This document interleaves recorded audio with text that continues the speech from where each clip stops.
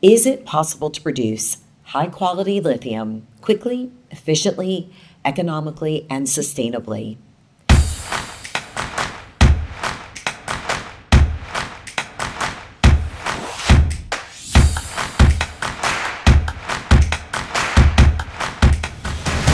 We use the technologies that are the most energy efficient.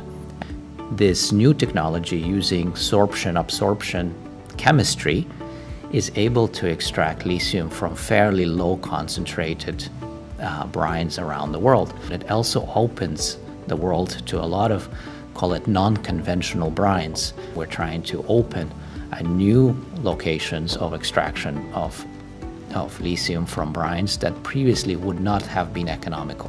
What we wanted to do in our pilot is to prove that it is economical, to prove that it is scalable, and of course to address the sustainability question so that we have the social license to operate.